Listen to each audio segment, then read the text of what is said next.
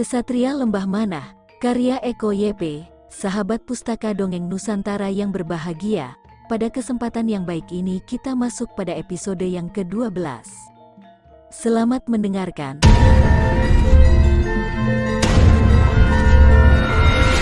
Beberapa anggota Belati Merah memilih diam saja dan hanya menonton pertarungan salah satu anggotanya melawan satu pendekar aliran hitam pengawas pekerjaan, meja dan kursi berhamburan, guci dan cawan tempat arak pecah di berbagai tempat karena pertarungan itu. Sementara itu di kedai depan, Panji Giri yang tengah menikmati arak terbaiknya, terpaksa menghentikan aksinya dengan wajah yang sudah merah karena mabuk. Pemuda itu memeriksa pada kompleks bangunan produksi yang tengah terjadi keributan. Tak hanya Panji Giri, ketua kelompok Belati Merah juga melakukan hal serupa. Belum sempat pria itu menikmati arak terbaiknya, dirinya mengikuti Panji Giri menuju bangunan kompleks belakang. Hingga salah satu pendekar aliran hitam itu terpojok dan hampir tertusuk belati milik anggota belati merah, tiba-tiba Panji Giri menghentikan keduanya. Hentikan apa yang kalian lakukan, bentak Panji Giri diikuti dengan kedua para bawahannya itu menghentikan pertarungannya. Pada saat yang bersamaan, Lembah Manah tersenyum kecil dan melesat ke penjara bagian belakang yang menyekap dua adik Kadaka. Dengan meletakkan jari pada bibirnya, pemuda itu mengisyaratkan adik Kadaka menenangkan dirinya. Ayo pergi dari tempat ini, lirih Lembah Manah sesaat setelah membuka pintu penjara dengan gerbang kehidupan. Jangan takut, aku adalah sahabat tetua Kadaka. Tanpa menunggu lama lagi, Lembah Manah menyambar tubuh adik Kadaka yang lemah tak berdaya karena luka cambuk di sekujur tubuhnya. Dan dalam sekali hentakan kaki kanannya, pemuda itu melompat ke atap bangunan kompleks pembuatan arak, lalu kabur dari tempat itu.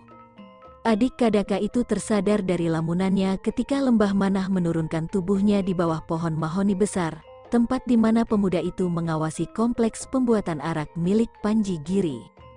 Tunggulah di sini, Aku akan menjemput saudaramu yang masih di dalam penjara bangunan belakang, seru lembah manah dan berlalu dari pandangan pemuda adik Kadaka. Pemuda itu masih terpaku menahan perih sembari memandang punggung lembah manah yang perlahan menghilang dari hadapannya. Dan lagi-lagi, dia kembali tersadar dari lamunannya, ketika lembah manah telah berhasil membawa pemuda yang satunya lagi di samping pemuda itu. Setelah dua pemuda itu berkumpul, Lembah Manah mengambil potongan ruas bambu dari saku bajunya bagian dalam dan berkata, Minumlah ini adalah ramuan pemulihan tubuh. Lebih baik kita pergi ke perguruan tombak putih, hanya di tempat itu kalian akan aman, tambahnya lagi. Tapi kami harus mencari ibu kami, seru salah satu dari adik Kadaka. Itu bisa dibicarakan dengan kakak kalian, sahut lembah manah. Mereka bertiga meninggalkan desa Gembong dan bergegas untuk menuju perguruan Tombak Putih.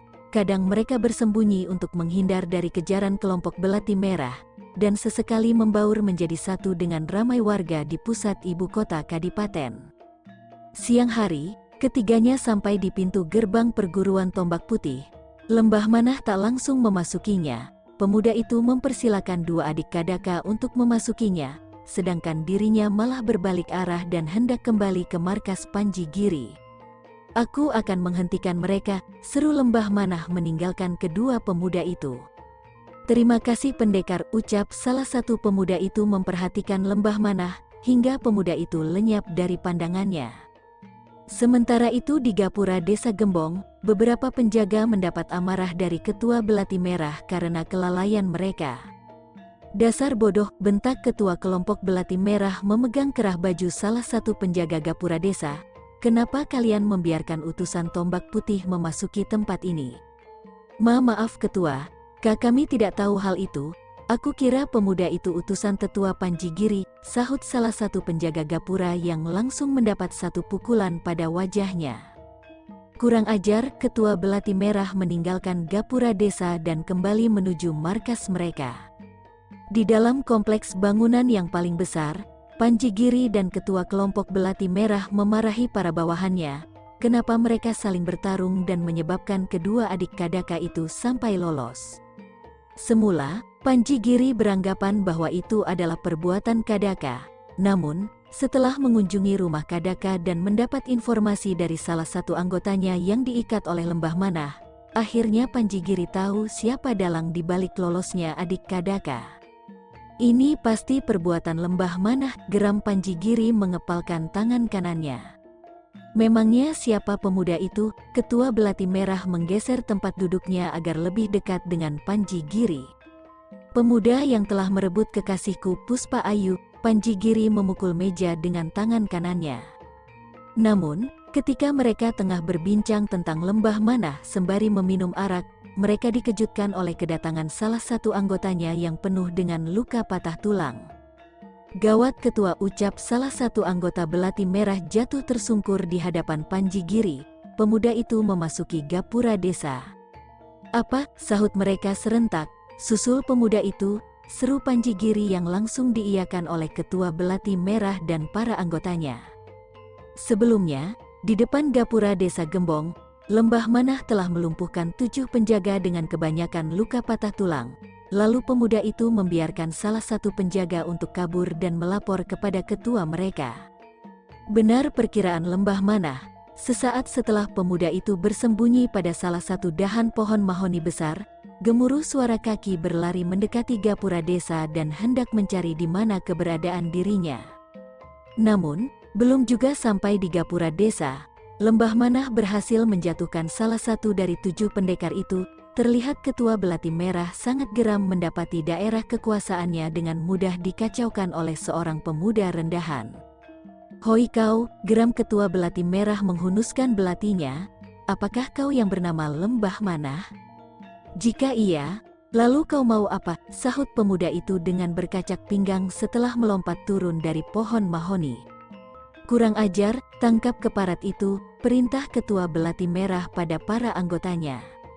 Lima anggota belati merah melesat ke arah lembah manah dengan senjata belati. Pemuda itu diserang dari berbagai sisi dan dari segala arah oleh lima anggota itu. Namun, gerakan lembah manah cukup gesit ketika pertarungan jarak dekat.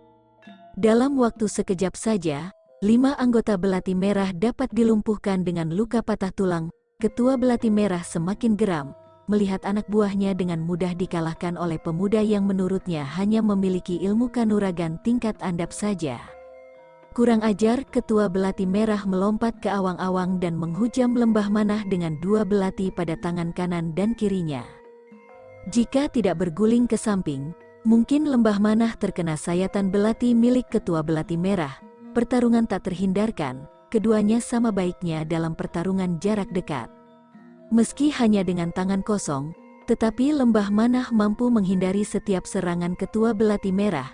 Lembah manah salto ke belakang dan berhasil menjaga jarak agar lebih jauh dengan ketua belati merah.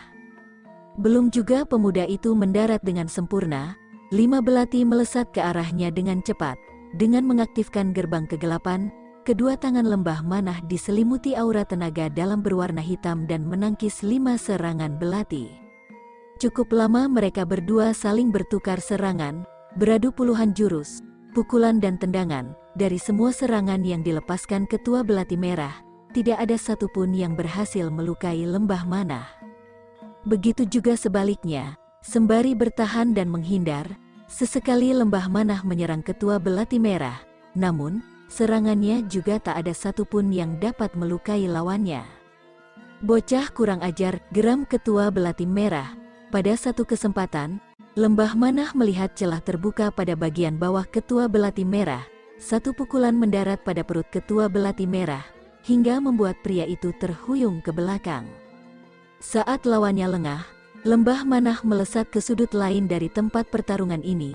Pemuda itu memanfaatkan pepohonan besar di sekitarnya untuk melakukan strategi bertarung.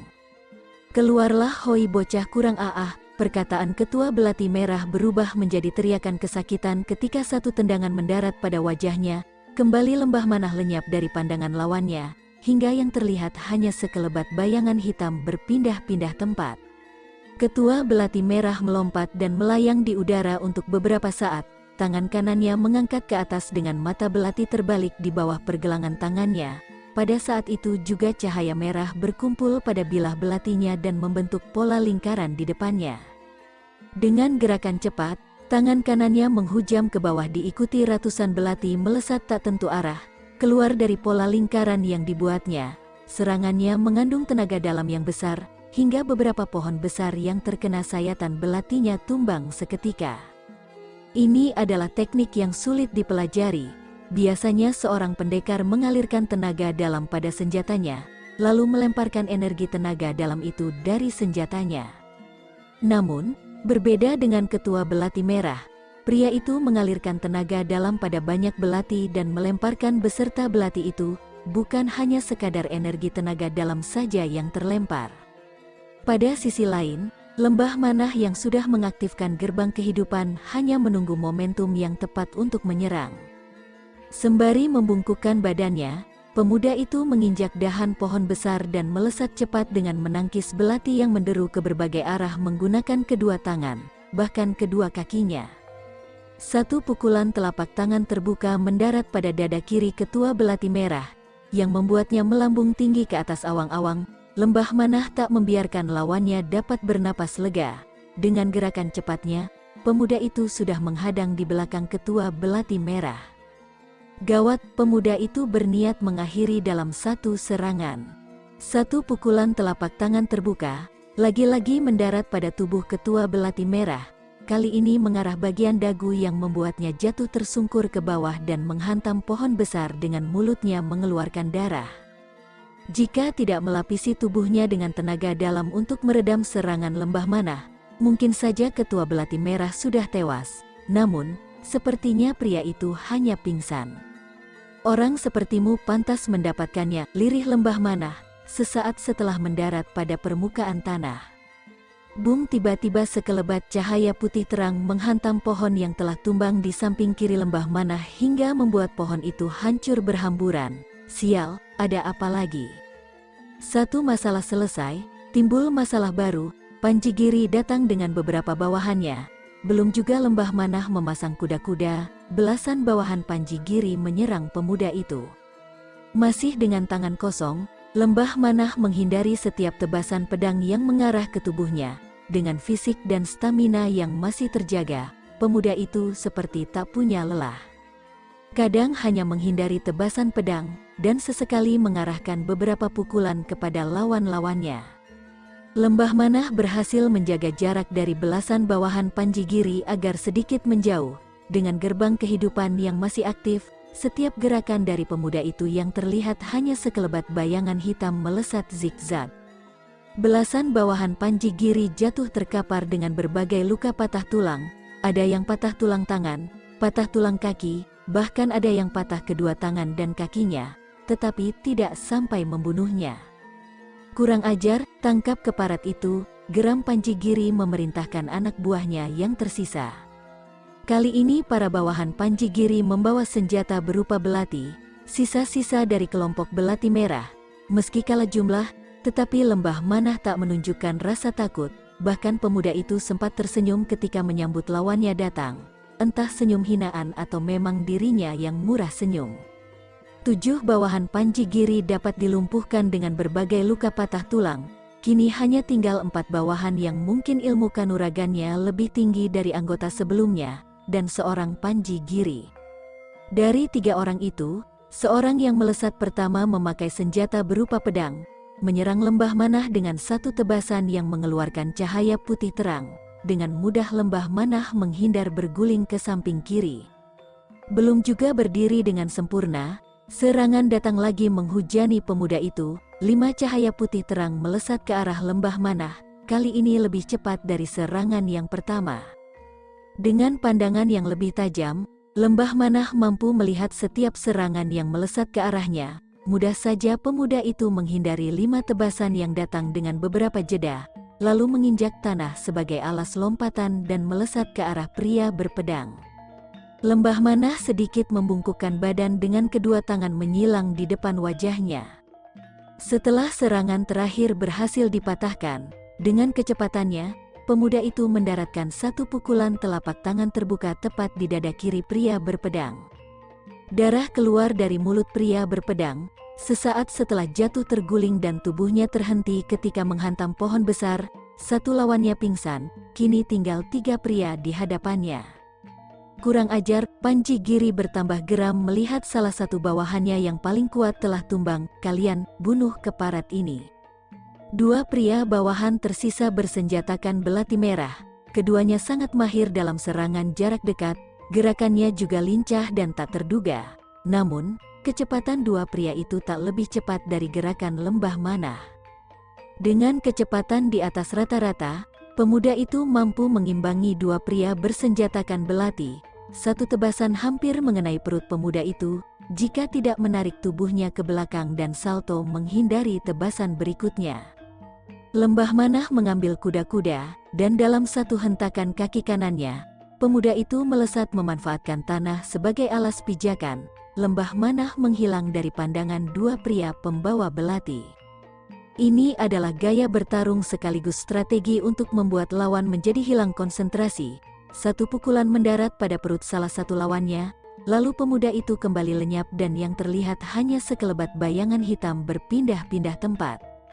Belum juga menguasai tubuhnya, satu tendangan mendarat pada wajah pria itu, lagi-lagi lembah manah lenyap dari hadapan lawannya. Bertarunglah secara yanah, perkataan itu berubah menjadi teriakan kesakitan, ketika satu pukulan telapak tangan terbuka mendarat pada dagu salah satu lawannya, pria itu terlempar ke belakang dengan menyemburkan seteguk darah dan berhenti melayang setelah tubuhnya menghantam tiang penyangga gapura desa.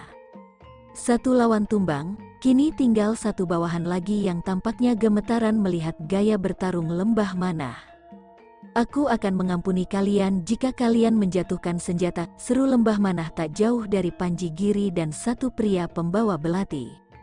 Satu pria pembawa belati menjatuhkan senjatanya dan memberi isyarat untuk menyerah. Pria itu berjalan menjauh dari Panji Giri. Namun, berbeda dengan Panji Giri, pemuda itu melesat ke arah lembah manah dan menebaskan tombaknya yang telah dialiri tenaga dalam. Mana mungkin aku menyerah dari bocah sepertimu, teriak Panji Giri. Pertarungan jarak dekat kembali terjadi antara Panji Giri melawan lembah manah, Panji Giri langsung menyerang dengan seluruh kekuatannya, sementara lembah manah hanya menghindari setiap tebasan tombak Panji Giri. Lembah manah salto ke belakang untuk menjaga jarak agar sedikit menjauh dari jangkauan tebasan tombak Panji Giri. Namun, belum juga berdiri dengan sempurna, pemuda itu hampir saja terkena satu tebasan tombak Panji Giri jika tidak menundukkan badannya. Kali ini serangan Panji Giri benar-benar menggunakan kekuatan penuhnya, terlihat dari tombaknya yang bercahaya putih terang dengan suara menderu dari setiap tebasannya. Namun, itu tak membuat lembah manah menjadi gentar, malah pemuda itu semakin bersemangat menghadapi lawannya. Kali ini kau harus mati di tanganku, lembah manah, seru Panji Giri dengan nada berat. Tombak angin timur, setelah berkata demikian, satu tebasan mengeluarkan cahaya putih terang berbentuk bulan sabit melesat horizontal ke arah lembah manah. Namun, lembah manah masih bisa menghindar dengan melompat ke dahan pohon mahoni. Serangan Panji Giri menghantam belasan pohon di depannya yang membuat pohon itu tumbang berhamburan. Kembali Panji Giri menebaskan tombaknya ke arah lembah manah yang berdiri pada dahan pohon mahoni besar, lagi-lagi pemuda itu dengan mudah menghindari tebasan cahaya berwarna putih yang bergerak horizontal. Satu serangan menghantam dahan pohon mahoni dan membuat dahan itu tanggal dari batangnya. Kurang ajar, jangan hanya menghindar, ayo lawan aku Panji Giri semakin geram dibuat lembah manah. Emosi hanya akan mendatangkan kesengsaraan, sahut lembah manah bersembunyi dari balik salah satu dahan pohon besar yang masih tersisa. Serangan Panji Giri semakin tak terkendali, pemuda itu menebaskan tombaknya ke segala arah hingga menimbulkan tumbangnya pepohonan di sekitarnya. Lembah Manah masih bersembunyi sembari menunggu momentum yang tepat untuk menyerang. Hingga pada satu kesempatan, serangan Panji Giri mulai melemah karena kehabisan tenaga dalam. Lembah Manah muncul dari balik pohon yang telah tumbang dan melesat cepat, hingga yang terlihat hanya sekelebat bayangan hitam saja. Satu pukulan telapak tangan terbuka mendarat pada bahu kiri Panji Giri yang membuat pemuda itu terlempar dan berguling ke belakang dengan mulut mengeluarkan darah. Tubuhnya berhenti berguling saat menghantam batang pohon besar yang telah tumbang dan tombaknya terlempar. Tolong bereskan semua ini, Aku percaya padamu, pinta lembah manah kepada salah satu bawahan Panji Giri yang menyerah. Sebentar lagi pihak tombak putih akan datang. Salah satu bawahan Panji Giri itu menuruti permintaan lembah manah, dengan mengikat seluruh anggota belati merah menjadi satu. Selang beberapa waktu kemudian, Puspa Ayu, Kadaka diikuti ibu dan kedua adiknya, beserta beberapa murid perguruan tombak putih tiba di dekat Gapura Desa Gembong. Mereka tampak terkejut melihat bekas pertarungan yang porak-poranda. Menurut mereka, pertarungan itu hanya dilakukan oleh pendekar yang memiliki ilmu kanuragan tinggi. Kadaka mendekati seorang bawahan Panji Giri yang menyerah dan berkata, Siapa kau? Seru Kadaka menaruh curiga pada salah satu bawahan Panji Giri yang telah menyerah itu. Aku salah satu anggota dari mereka, sahut pendekar itu lalu menoleh ke bawah pohon tempat lembah manah berdiri tetapi pemuda itu melindungiku dan meminta untuk mengikat mereka semua. Namun, bawahan Panji Giri itu terkejut mendapati lembah manah sudah tidak ada pada tempatnya dan berkata, Ke mana pemuda itu, padahal baru saja mengalahkan mereka semua? Bawahan Panji Giri itu menoleh ke sekelilingnya, lalu menoleh kembali ke tempat di mana lembah manah berdiri sebelumnya, lagi-lagi berkata, tadi pemuda itu masih berdiri di tempat itu. Kadaka meninggalkan bawahan Panji Giri dan berniat untuk membawa para anggota Belati Merah ke pihak Kadipaten agar segera diadili. Pemuda itu berdiri pada salah satu batang pohon yang tumbang dan memandang bekas pertarungan yang menurutnya sangat dahsyat. Kaulah pendekar itu, lembah manah, lirih Kadaka menganggukkan kepalanya sembari tersenyum. Sementara itu, Puspa Ayu tampak murung mendengar pembicaraan Kadaka dan salah satu bawahan Panji Giri, gadis itu menyisir tempat bekas pertarungan dan duduk pada sebuah batang pohon yang telah tumbang. Tempat kami akan selalu terbuka untukmu. Lembah manah lirih Puspa Ayu menghirup napas dalam-dalam seraya memandang langit sore yang menjingga, dan juga hatiku. Pagi itu rombongan Wanapati telah sampai pada sebuah sungai besar yang menjadi perbatasan antara Kadipaten Kabaman dan Kadipaten Lembah Bunga di sebelah baratnya, Sepertinya perjalanan ketiga pemuda itu tampak lancar tanpa adanya halangan yang berarti. Tidak seperti lembah manah yang memilih jalur sisi selatan dari tiap-tiap kadipaten yang disinggahinya, rombongan Wanapati melewati sisi tengah, bisa dibilang, mereka melewati setiap pusat desa, dan pusat kadipaten yang mereka singgahi. Ini adalah minggu kedua setelah mereka meninggalkan perguruan untuk menuju pusat kerajaan. Jika tidak ada halangan, Seminggu kemudian mereka akan sampai pada pusat kerajaan yang berada di Kadipaten Kota Raja. Mereka bertiga bergerak pelan sembari mencari berbagai informasi mengenai jalan yang menjadi tujuan mereka. Kenapa kau masih saja murung Niluh? Seru Wanapati mendapati Niluh yang akhir-akhir ini selalu berwajah sedih. Tanpa bertanya, kau pasti sudah tahu jawabannya, Wanapati, sahut Jayadipa. Pasti karena lembah manah, lirih Wanapati menundukkan kepalanya. Wanapati mencoba mengingat lebih dalam lagi saat-saat bersama lembah manah, meski selalu jahil kepada kacung kampret, tetapi dalam hati kecilnya, Wanapati masih menganggap lembah manah sebagai sahabatnya, mengingat mereka pernah bersama di dalam ruang lingkup perguruan. Ayo kita lanjutkan perjalanan, seru Jayadipa memecah keheningan. Perahu kita sudah datang, jika tertinggal, kita harus menunggu sore hari untuk menyeberangi sungai ini. Wanapati mengulurkan tangan kanannya kepada Niluh mencoba memberi semangat kepada teman perempuannya itu dan berkata, Ayolah jangan terlarut dalam kesedihan, lembah akan sedih jika melihatmu seperti ini terus. Niluh menyambut uluran tangan Wanapati dan bergegas menaiki perahu untuk menyeberangi sungai menuju Kadipaten Lembah Bunga, masih dengan wajah murungnya, gadis berambut panjang itu mengarahkan pandangan ke depan seakan ingin cepat sampai ke seberang. Lembah mana aku yakin kau masih hidup dan selamat dari jurang pengarip-arip, ucap Niluh dalam hati dan meneteskan air matanya. Tolong aku, jangan bunuh mereka teriakan demi teriakan terdengar di sebuah pelataran halaman perguruan bela diri, denting pedang saling beradu, sayatan demi sayatan, tusukan demi tusukan, dan korban berjatuhan menjadi salah satu malam yang mencekam. Bau amis darah menyeruak hidung, yang membuat siapa pun bergidik ngeri. Bunuh mereka semua, Jangan sampai ada yang kabur, teriak salah satu pendekar aliran hitam yang membuat para bawahannya semakin gencar melancarkan serangan pada pendekar aliran putih. Hahaha, kalian takkan bisa lari, seru salah satu pendekar aliran hitam lainnya yang lagi memojokkan seorang pendekar aliran putih. Jangan aku mohon ampuni nyawaku, pinta pendekar aliran putih yang tubuhnya penuh luka sayatan pedang. Ha? Apa, mengampuni nyawamu? Setelah berkata demikian, satu tebasan pedang mendarat pada leher pendekar aliran putih itu hingga membuatnya meregang nyawa.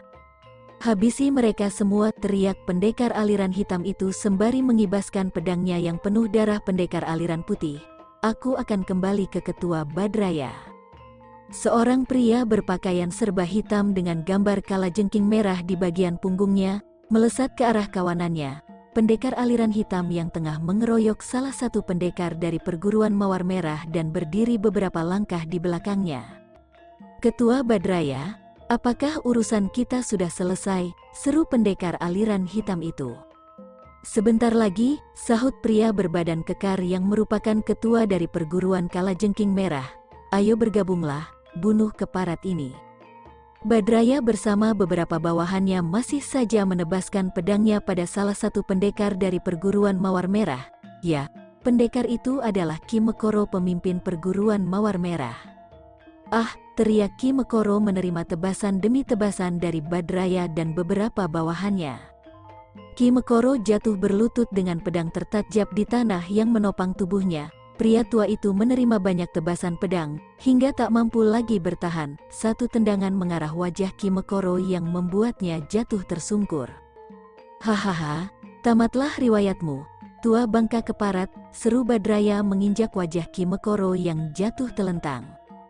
Satu tebasan merobek leher Kimekoro dari mata pedang Badraya, hingga membuat pria tua itu meregang nyawa di tangan pemimpin perguruan Kalajengking Merah.